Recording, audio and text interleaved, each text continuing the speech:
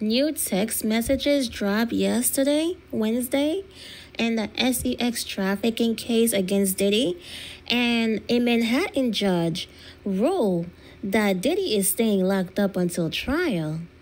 The judge, Andrew Carter, shut down Diddy's offer for home detention and electronic monitoring on um, the $50 million bill, backing um, the earlier decision to keep him in jail so during the hearing, the prosecutor, Emily Johnson, used texts between Diddy and his alleged victims to argue why he shouldn't be released. She also read out messages that Diddy allegedly sent to Cassie after the infamous caught on video attack. Remember that? Diddy texted her, Call me, the cops are here. I got six kids. You, please call. I'm surrounded. You're gonna abandon me all alone? She replied, I have a black eye and a fat lip. You are sick for thinking it's okay to do what you've done. I still have crazy bruising. Johnson also read messages an unnamed victim wrote to Diddy that said, You always want to show me that you have the power and you knock me around. I'm not a ragdoll. I'm someone's child. You guys, I want to read the whole transcript to you. It's wild. Diddy's lawyer, he's supposed to be like a top-notch lawyer, but he's just he's just terrible right now. I guess because this situation is so bad and they don't really have much to work with because that's how bad this is for Diddy. Let me tell you, his lawyer was throwing everything at the wall, hoping something stick. It was so bad. It was so bad that the judge was like, get to the point. And your point is, the judge even said, what love got to do got to do with it? I'm so serious. The judge asked, What's love got to do with it? Because Diddy's lawyer was trying to say that the whole beating was a part of their toxic love because they were in love. Oh my gosh. I'm going to read the transcript. You guys, before I do, make sure you like this video as it helps this channel a lot. And please subscribe and make sure to hit that notification bell so you don't miss any updates. Okay, now let's get to the transcript because it is crazy. Diddy's lawyers Forget Diddy's lawyer, because this guy, the prosecutors did not come to play. Listen, this trial better be open to the public like the Johnny Depp and Amber Heard trial. It better be. It better be public because this case is going to be woo.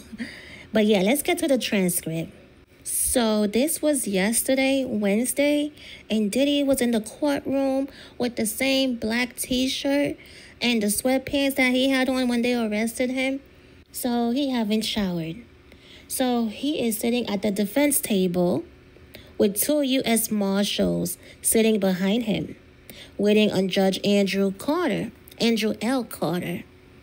So they're like, all rise, government. So Emily Johnson, the prosecutor, started. She said, the freak-offs were elaborate they began in 2009 and extended into this year. These freak-offs were arranged with his entourage.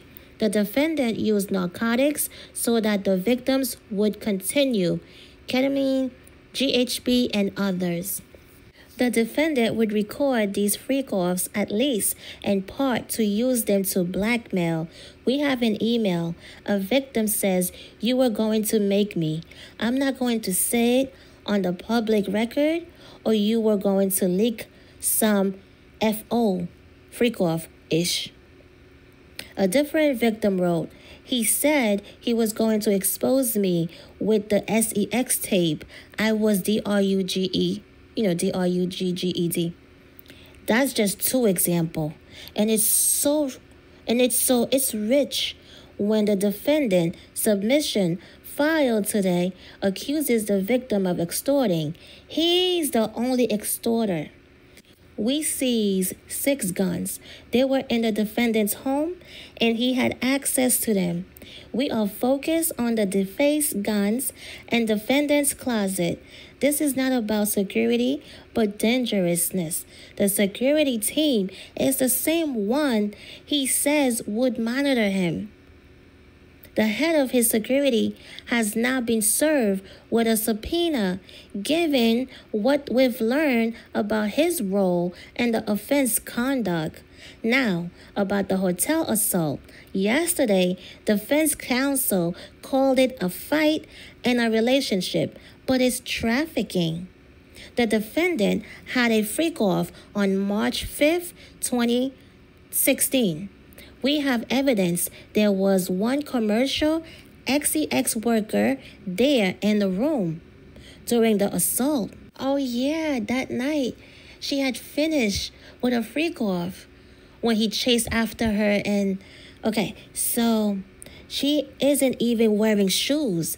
She is in danger. Defendant storms out in a towel.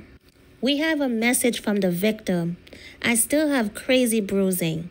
He claims he wanted to get his clothes back, but that's not what happened here. She tried to escape a room with the defendant and a commercial SEX worker, and she fled without shoes.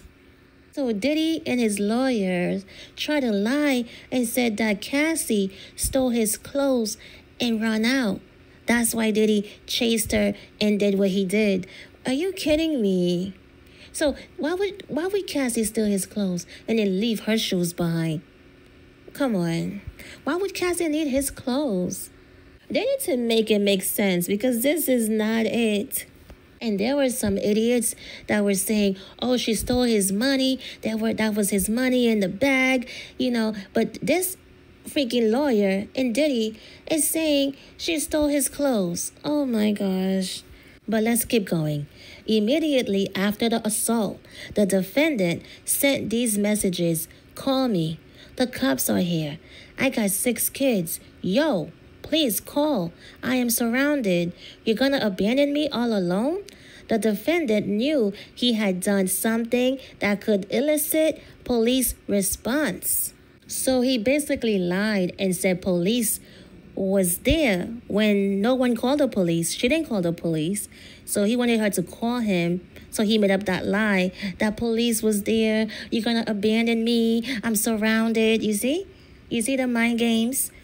Okay, so he covered up what he did this year. After the surveillance video came out, only then did he admit that it was him. Yesterday, it was claimed that his clothes was, were taken. But that's not what happened. Why drag the victim back down the hall to the room? The indisputable evidence makes clear you cannot take the defendant at his word.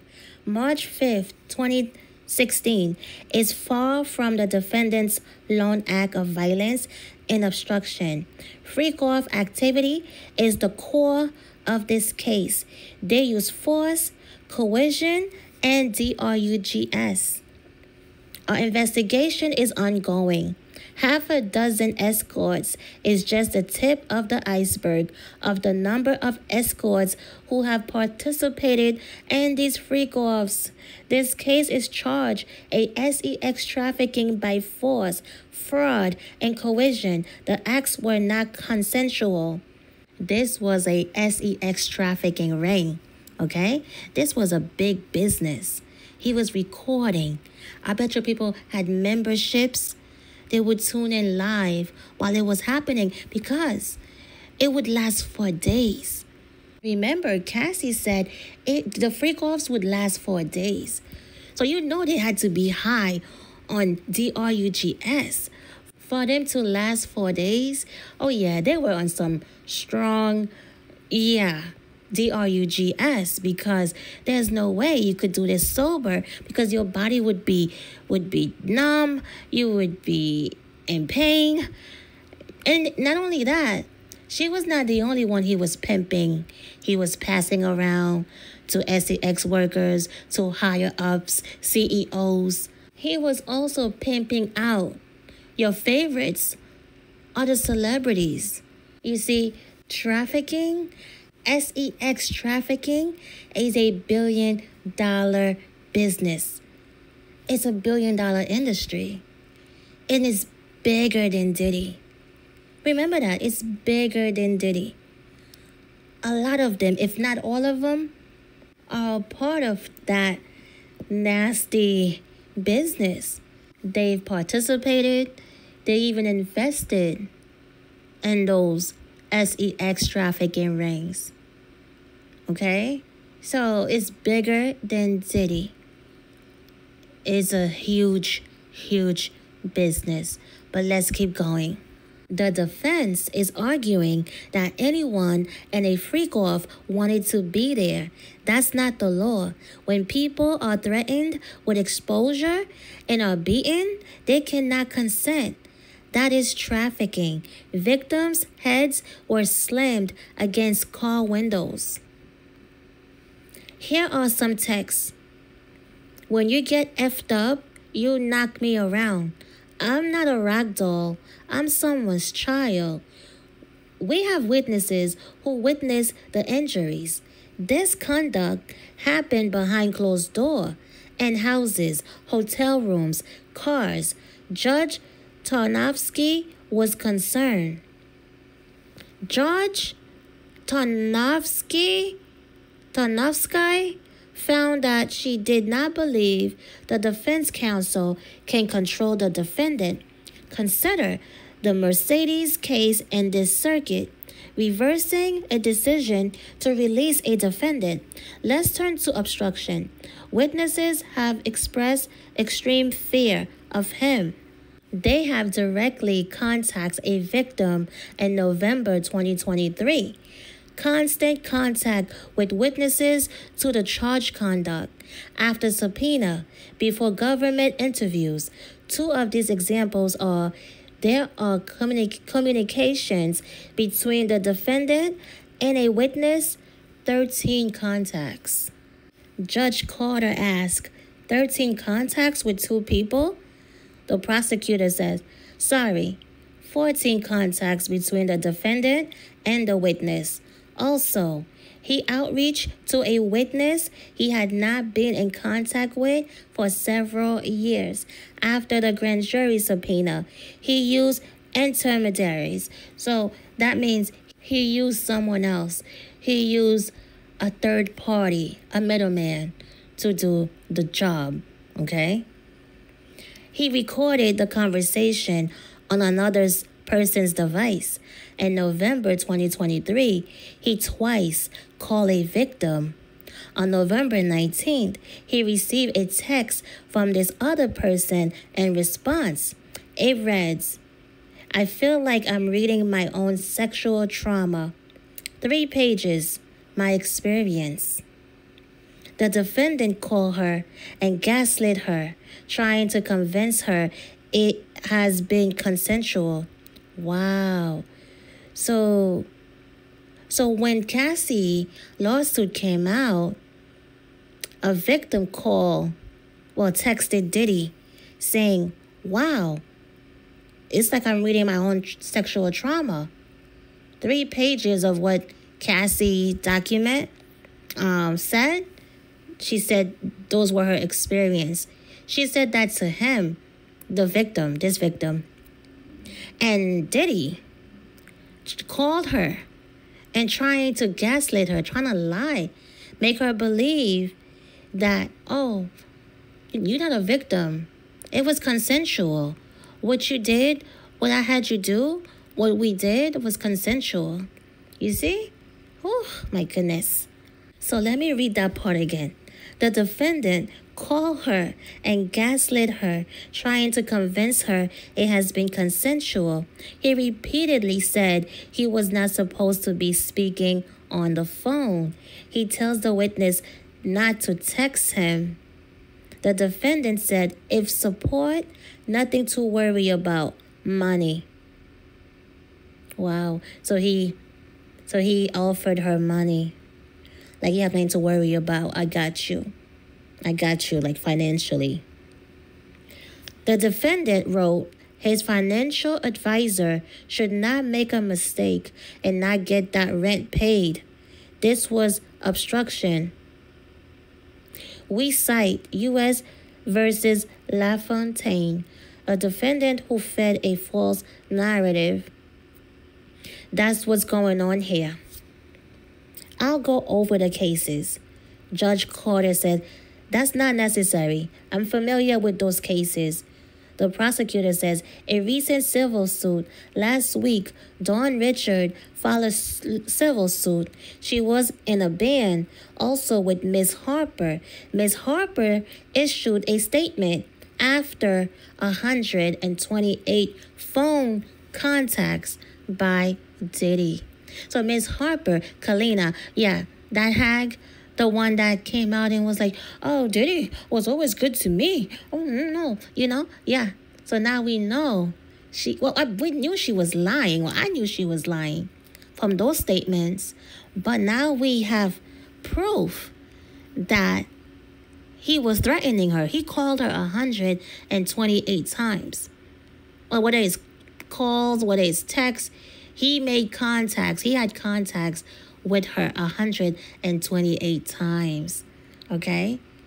So that's why she came out and said, Oh, I didn't see anything. When Dawn came out the other day, and then Kalenna came and said, "Oh, I didn't see, I didn't see Diddy abuse Cassie. Da da da da. That was not my experience. All these uh, artists are disgruntled. Yeah. So she was lying. Of course, she was lying. But now we know why. Because he offered her money. Of course, we knew. I knew that. And she's afraid of him. Oh my goodness. The prosecutor says, We didn't deal with Lawrence Ray's case. Magistrate Judge Fox ordered detention even on one victim, but the judge found that corroborated by documentary corroborated by documentary evidence. The judge says, Anything else? The prosecutor says, A few more things. The judge says, How many? The prosecutor says, Three minutes. Traveling to New York does not address danger to the community. I am here seeking detention, but I note that the bail package does not have enough conditions that focus on obstruction, and it couldn't. He's been involving other people. The defendant should be detained pending trial. The judge asked defense. Now, Combs' lawyer Mark Agnifilo says, Let me start with Miss Harper. I was called by her and a lawyer. I said, Do what you want, make a statement or not. I later found out that she did. Combs' second lawyer, Teny Garago says, Miss Harper felt she was being besmirched, meaning damaged, like her reputation was was being ruined.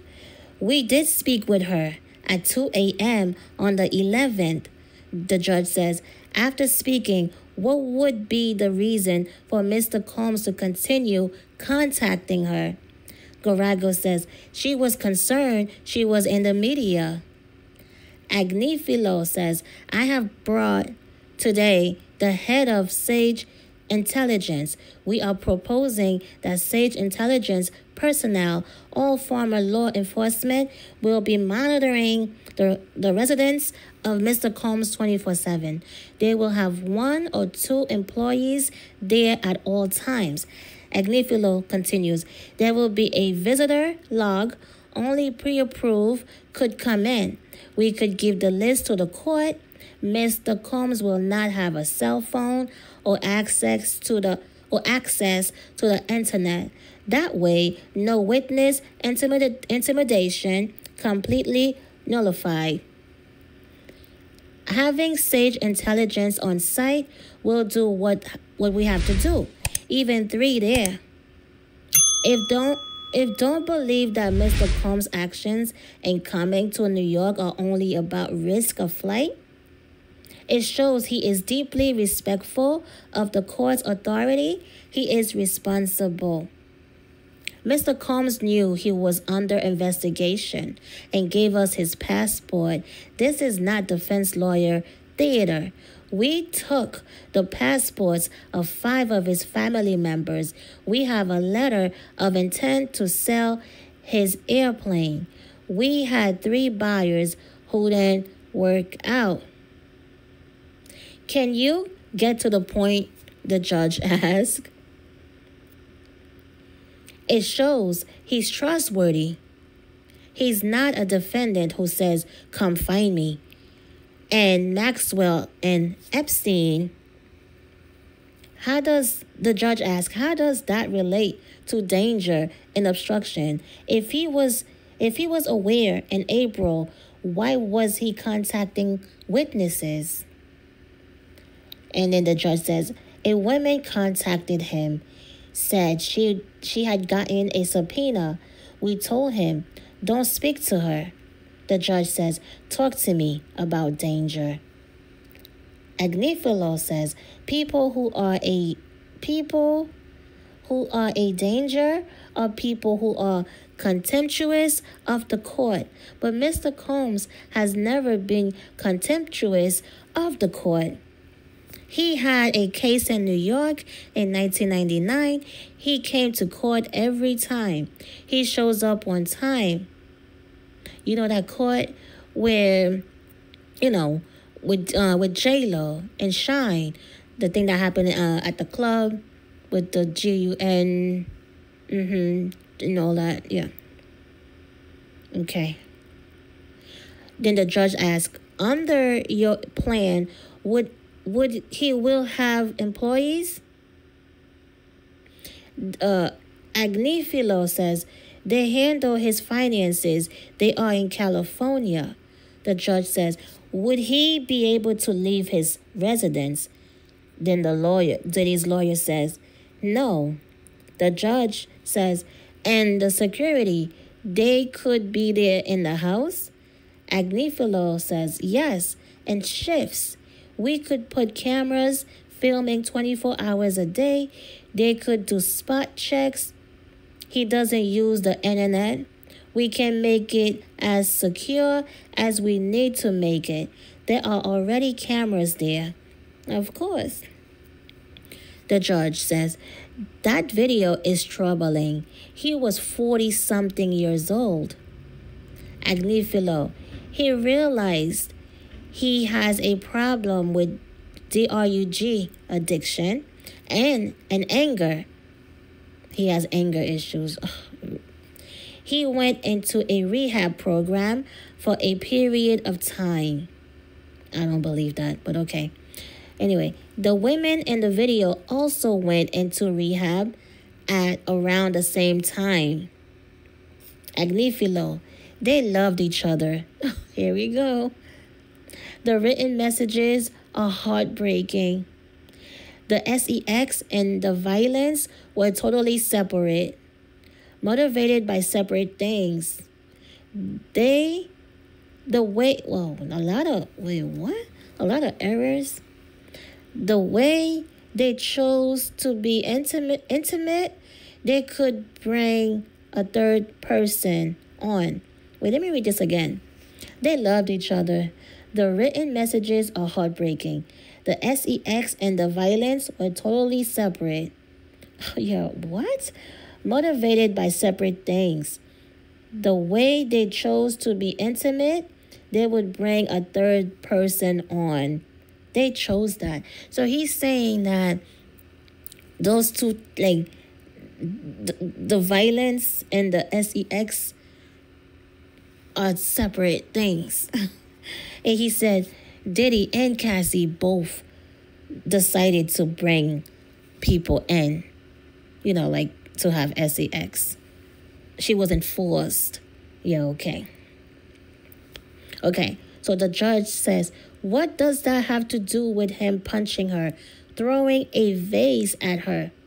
What's love got to do with that? Agnifilo says that was jealousy from infed- infidelity in both directions. Mr. Combs and this other person. The violence is from that.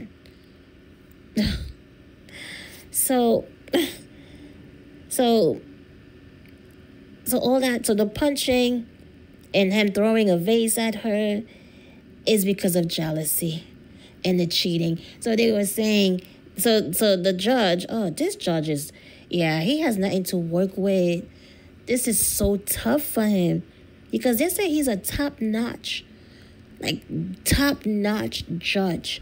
Okay? So for this guy to be pulling at like yeah, this is yeah, that means it's so bad that this guy a lawyer who I mean lawyers are liars, right? They are good liars. And for him, for this lawyer to just not making sense and his explanations are terrible. Yeah, that's how bad this Diddy case is. That's how bad. Oh my gosh. Okay, so let's do this. Let me read this again. What does that have to do with him punching her, throwing a vase, a vase at her? What's love got to do with that? Agnifilo says that was jealousy from infidelity in both directions. So saying they both were cheating on each other. Mr. Combs and this other person. The violence is from that. The judges ask, What is your point?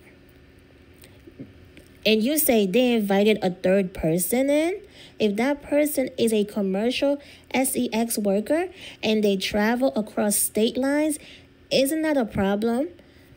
And Diddy lawyer says, I've spoken with the agency. They say they are not paid for SEX, but if they feel like it, what? You see what I'm saying? Like, it's so bad that even the best lawyers, one of the top best lawyers, is having a hard time lying for this guy. Like, it's not even making sense. Oh, wow. The former government of New York, he did this, and he was not prosecuted. They are prosecuting Mr. Combs for it. See, he's he's even bringing up other people. Former government of New York did the same thing that Diddy did, and he okay. You see what I'm saying? Like, yeah, yeah. This lawyer is struggling, big time. Yeah, Diddy is yeah. He's not going to win this, but at least I thought this lawyer was going to like I don't know. Let's keep going. The judge even said, let's get back to that video in the physical beating. Why isn't that relevant to dangerousness? Diddy's lawyer says, it's not SEX trafficking. What? Even if you don't trust him, trust the bond package. 50 million bond, no internet, Sage, that will give the court comfort that he is not a flight risk. Then he can prepare for his trial. We had known this was coming. He could have run and march. And Agnifilo, Diddy's lawyer says, he was an actual altar boy. the judge asked, How far back are we going? oh my God. Diddy lawyer says he watches a sermon every day. He has done a great deal to earn the court's trust. I ask you to release him. Wow. He was an actual altar boy. That was like what? That was 50 years ago. altar boy? What does this have to do with this? You see what I mean? This lawyer, oh my gosh. That's how bad this case is. Oh, wow. I know this lawyer is pissed. I don't know if he's lost any case, but this will be his first loss. Okay? This case right here, this Diddy trial, will be his first loss because this lawyer he's struggling big time. Big time. That's how bad. Like he can't even come up with any good lies. Okay. So the judge says, I've heard from the parties.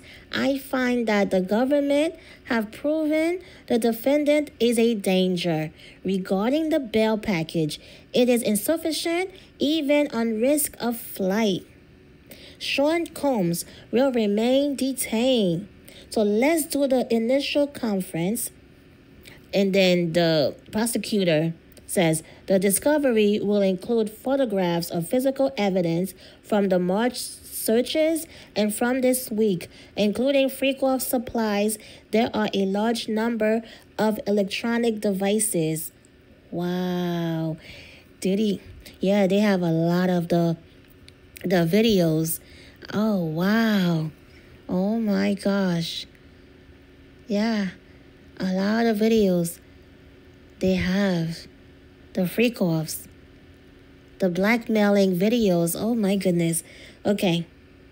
We have 35 full extractions ready to produce to the defense.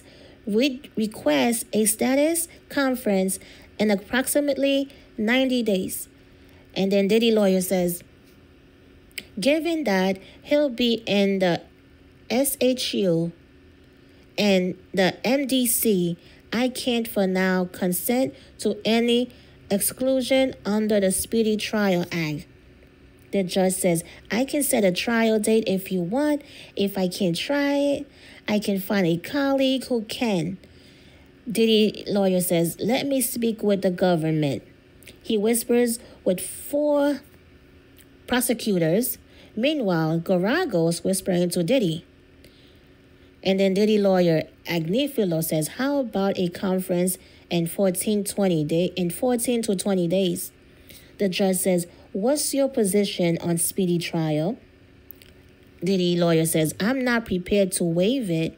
The judge says, First, the date, October 9th at 2 p.m. The prosecutor says, We have to exclude time under the Speedy Trial Act Diddy lawyer says, I can't consent.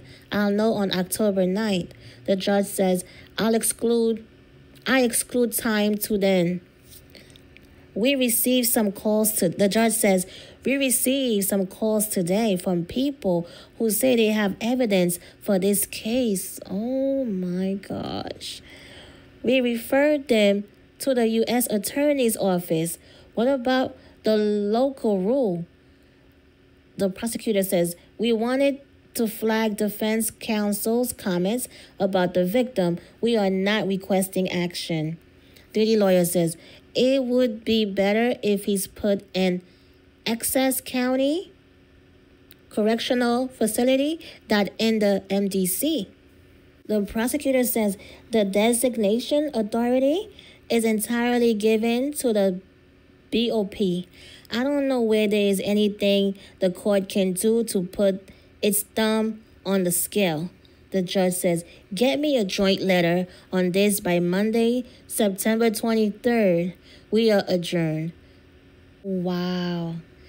Yeah, so that's the transcript. So, oh yeah. See, Diddy, lawyer. Diddy's lawyers, they having a hard time with this case, coming up with excuses, coming up with lies. Because you see, what they're coming up with doesn't make sense. They were in love. How is that love? In what what world? love. There was no love between these two. No love at all. She didn't even like him in the beginning. She never liked him. She didn't find him attractive. She said that she did not find him attractive at all. Right? And he kept on, he kept on, he kept on, he kept on. And yeah. So she wanted a career, her music career to, you know, and he and Diddy being disgusting and a pervert and an abuser, he took advantage of her. So this love thing, they were in love, yeah, it's stupid. It makes no sense. No one believes that. Because if you love someone, you don't hurt them, you don't beat on them, you don't pass them around to other men while you, you know, what? you don't do that. You don't do that. You don't share them. You don't abuse them, blackmail them I mean, abuse them like that. Like, she's a piece of, like, my gosh, like the way he mistreat, the way he, and then, because Dawn said he threw a a hot pan of of eggs at Cassie. And he was like, B, I told you, you know, make my eggs. You never make it right. You know, and he threw the hot pan at her. And this is love? Please. Please. So they are full of ish. His lawyer and Diddy, full of ish. And they are having a hard time. And I love it. I love it. I do. They are struggling big time. And that's good. That is good. So, yeah, but Naomi Campbell, Mary J. Blige, oh yeah, they've slept with Cassie too. You better believe it. You better believe Cassie was being passed around to other women too. Three sums, four sums, five sums, seven sums, orgies, okay? Believe me. Believe me when I tell you. Naomi Campbell was a part of the whole trafficking, okay? Oh, yeah. She slept with Cassie. One on one, three and one, whatever. She slept with Cassie one on one, just the two of them. And she also slept with her, with Diddy and others. Mary J. Blige as well. These people are sickos, okay? These people are sickos. Big time sickos. They are not like us, like us. Not at all. They are not like us. Okay, normal people, because we are normal. These people are not normal. The things that they are into, demonic things that they are into, they are sick. They are sick. That's why if you if you are in their world, you have to sign NDAs. You have to sign NDAs because of the things that they are into, the things that they do, the rituals. Just sick. Just sick people. So no one in their right mind would want to even be down with them even when I like, I don't know. I never cared for celebrities. Like I've never really like when I was little, really young, I had a few crushes on people I look back now. I'm like, ew. I'm like, yuck. I'm embarrassed to even say two two of the people that I had a crush on. My gosh. but uh yeah. So yeah, I'm anti celebrity worship. I've always I don't understand people who worship these people who anyways I don't want to make this video too long. So you guys, um yeah, that was the transcript. And this case, this trial, I'm ready. I'm ready.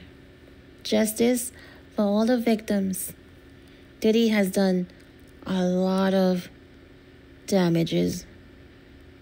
He has destroyed a lot of people. He destroyed the black community. He destroyed a lot of people. A lot of people men, women, boys, girls, everyone. So, yeah. Thank you guys for tuning in. Don't forget to subscribe. And please like this video as it helps a lot trying to grow my channel. I think I'm shadow banned because I took that five year break because it's just that's the thing. Youtube want to keep that's why people a lot of people they've been there for 10 years. They never take breaks because once you take a break it's over. It's over. That's how they keep you. They keep you on lock you know? Because I'm telling you, I came back after five years and it's just a struggle. It's just like, my gosh, you know? So, all right, guys. See you on the next one. Peace.